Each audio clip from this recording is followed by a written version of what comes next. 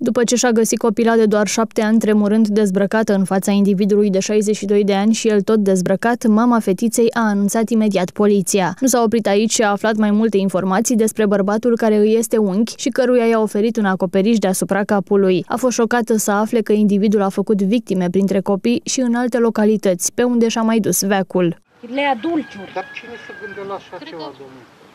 E pedofil pentru că și în comună la el a făcut la mulți Puteți să vă copii, dar duceți? nu depune declarații lumea. Păi știți ce l-ați primit acasă? Dacă știați că e așa. N-am știut, am știut. aflat După aia după ce ți-am- s-a Da. întâmplat. Am aflat, n-am știut că nu-l primim. Are un magazin foarte aproape lângă el, să duce de bea acolo. Mi-a spus omul de la magazin că Dar de-abia... era beat când uh, s-a întâmplat cu fetița? Doamnă, credeți-mă că nu realizez, eu El a nu zis că știam era nici... beat, de-aia vă întreb. Cred că da, cred că era beat, normal. Uh, și acolo la el în comună, toți copiii a fost agresați de el. De-abia a scăpat omul de la magazin, din toaletă, un băiat de mâinile lui.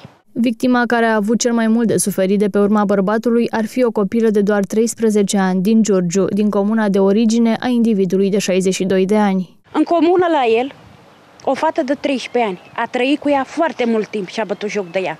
Dar n-a avut părinți să, să-și depune declarații, să facă demersuri. Se pare că bărbatul îi ademenea pe copii cu dulciuri, așa cum a făcut și cu strănepoata sa de șapte ani, și apoi îi amenința să nu spună nimănui prin ce calvar trec. Copila din Corbii Mari a fost abuzată sexual de trei ori de bărbat, însă i-a fost teamă să le povestească părinților. Ce credeți că merită, doamnă? Ce merită?